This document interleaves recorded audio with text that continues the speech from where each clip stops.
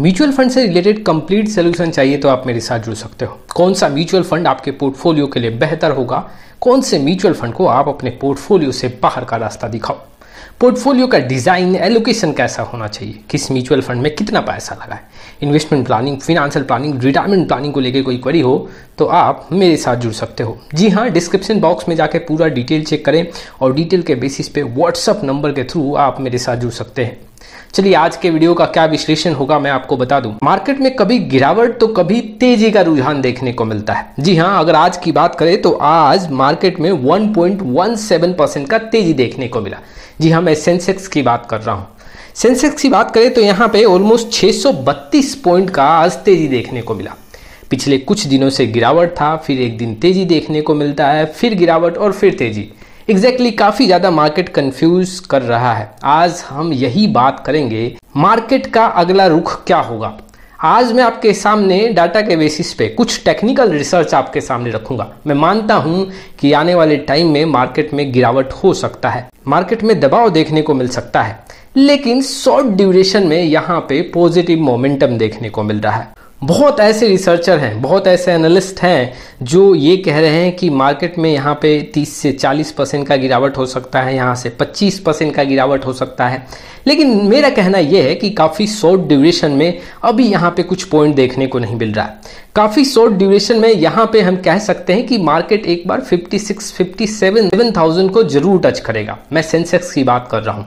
और हो सकता है कि आने वाले टाइम में वहाँ से आपको गिरावट देखने को मिले। लेकिन अगर ये कहा जाए कि आने वाले दो और तीन महीने के बाद कुछ गिरावट देखने को मिल सकता है कुछ बड़ा गिरावट देखने को मिल सकता है तो मैं काफ़ी ज़्यादा सहमत हूँ आज आपके सामने मैं जो डाटा रखूँगा, मैंने कई बार ऐसे डाटा आपके सामने रखे हैं और आपको समझाने का कोशिश किया है कि मार्केट का रुख कैसा है।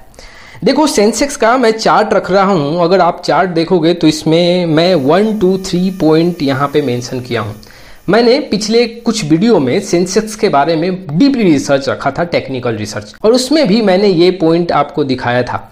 आज मैं फिर बता रहा हूँ कि देखो, मार्केट अपने पैटर्न को रिपीट कर रहा है। सबसे पहले नंबर वन पॉइंट को देखो, मार्केट में गिरावट हुआ, उसके बाद तेज़ी देखने को मिला।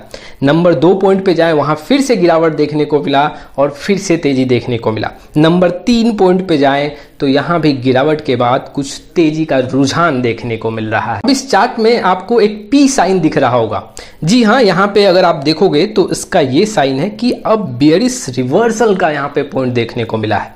बियरिस रिवर्सल अगर मैं आपको बहुत ही समराइज करके समझाऊं, जब ज़्यादा गिरावट होता है, उसके बाद जब तेज़ी देखने को मिलता है तो उसे हम बियरिस रिवर्सल कहते हैं। और यहाँ पे जो आप पी पॉइंट देख रहे हो, यहाँ पे बियरिस रिवर्सल का पॉइंट दिख रहा है। इट मीन्स कि मार्केट में यहाँ पे कुछ दिनों के लिए कुछ तेज़ी देखने को मिल सकता है। देखो, मैं किसी के कहने पे नहीं जा रहा हूँ कि मार्केट का मूवमेंट ऐसा होगा। मैं अपना एक रिसर्च रख रहा हूँ। अगर मैं आर एस आई देखूँ तो आर एस आई भी आप देख सकते हो, यहाँ पे कुछ दिन पहले गिरावट जो हुआ था, उसके बाद 30 के लाइन को टच करके RSI ऊपर की ओर बढ़ता हुआ दिख रहा है।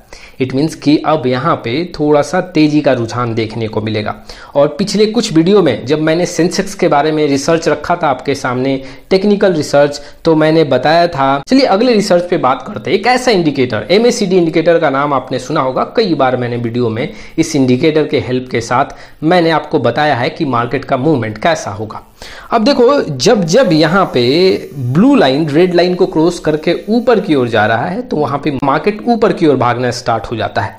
और जब जब यहाँ पे ब्लू लाइन रेड लाइन को क्रॉस करके नीचे की ओर आता है तो वहाँ पे मार्केट में गिरावट डाउनफॉल स्टार्ट हो जाता है।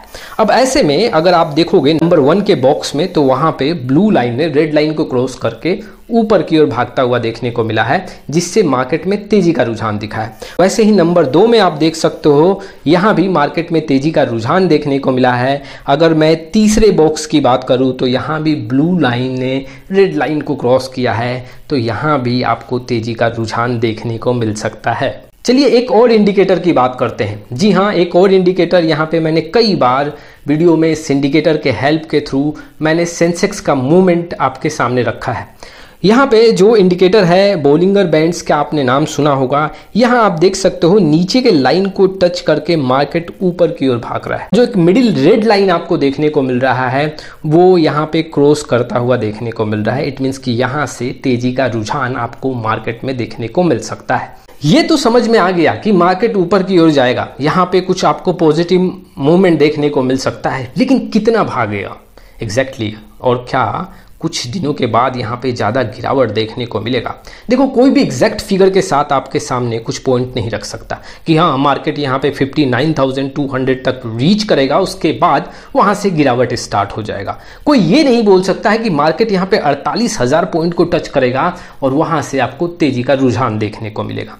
जी हाँ हम थोड़ा आंकड़ों के बेसिस पे कुछ अंदाज़ा लगा सकते हैं। देखो एक इंडिकेटर का मैंने यहाँ पे हेल्प लिया। इस इंडिकेटर के साथ हमें ये देखने को मिला है कि अगर मार्केट यहाँ पे 56,131 को क्रॉस करता है तो मार्केट में हमें तेज़ी का रुझान और ज़्यादा देखने को मिलेगा। और हो सकता है कि मार्केट यहाँ पे 59,000 को भी क्रॉस करे। मैं फिर से बताता हूँ देखो अगर यहाँ पे सेंसेक्स 56,131 को क्रॉस करता है और ज़्यादा यहाँ पे आपको पॉजिटिव मोमेंटम देखने को मिलेगा अगर ये 56,131 को क्रॉस नहीं करता है तो मार्केट में दबाव ऐसा ही बना रहेगा। और अप्स और डाउन्स आपको थोड़ा बहुत देखने को ज़रूर मिलेगा। देखो पिछले कुछ दिनों से मैं टेक्निकल रिसर्च आपके सामने रख रहा हूँ कि सेंसेक्स का मूवमेंट कैसा होगा। और वाकई में मैंने जैसे आपको बोला है सेंसेक्स वैसे मूव कर रहा है। क्योंकि मैं डाटा के बेसिस पे बात कर रहा हूँ। हो सकता है कि कुछ 200-300 पॉइंट्स का आपको ऊपर नीचे देखने को मिले, लेकिन मैं आपको ये ज़रूर बता सकता हूँ कि जो मैंने आपके सामने डाटा रखा है, इस डाटा से आपको 80 से 90 परसेंट का एक्यूरेसी तो ज़रूर देखने को मिलेगा। कभी भी आप लमसम करें, कभी भी आप कोई इन्वेस्टमेंट करें तो एग्जैक्टली exactly थोड़ा सा चार्ट को ज़रूर रीड करें टेक्निकल रिसर्च ज़रूर देखें और उसके बाद ही लमसम करें।